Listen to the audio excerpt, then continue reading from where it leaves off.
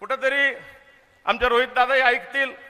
राष्ट्रवादी शरदचंद्रजी पक्ष पवार यांच्या पक्षामध्ये आमचे एकनाथराव खडसे हे आमदार आहेत. आमच्या जिल्ह्याला बाजूला आहे. आमच्या अनेक दिवसापासूनचे भाजप सेनेमुळे संबंध होते पालकमंत्री होते. काल आम्ही त्यांना आमंत्रित करण्याकरता गेलो.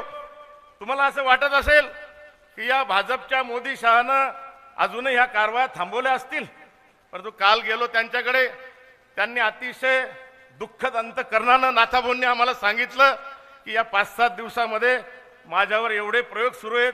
मी कालच दिल्लीच्या कोर्टाची वारी करून आलो आणि मला जबरदस्ती करून त्या ठिकाणी भाजपमध्ये जाव लागणार आहे आणि मला विधान परिषदेचा मी राजीनामा देईल. आणि त्या जागावर कदाचित माझी मुलगी रोहिणी खडसे यांना विधान परिषद मिळेल असं आमिषही मला दाखवलं. काही लोकांना धाक दाखवला. काही लोकांना खोके दाखवले. काही लोकांना त्रास दिला आणि अशा पद्धतीनं यांनी ज्या पद्धतीनं राज्य चालवलं त्याचाही समाचार या मतदानातून आपली मंडळी घेणार आहे. असंही या ठिकाणी आपल्याला निक्षून सांगतो पुनश्च एक वार या नकली भूमिपुत्राला पुन्हा एकदा सव्वीस तारखेनंतर चार जूनला चार जूनला निकाल लागणार आहे.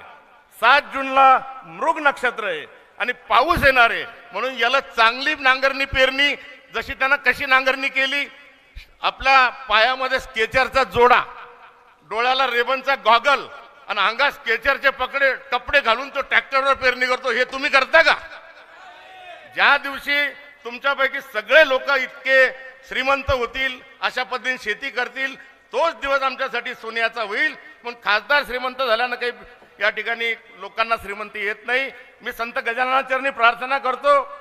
की ज्या पद्धतीनं पंधरा वर्षामध्ये यांची इस्टेट ज्या दुर्विचारानं मोठी झाली आम्हाला अशी कल्पनाही शिवू देऊ नको देवा की पुढच्या पंचवार्षिकमध्ये आपण तर खासदार करणारच आहात. करणार आहे की नाही? ते मागचे बोला मागचे मागा आवाज येतो का नाही?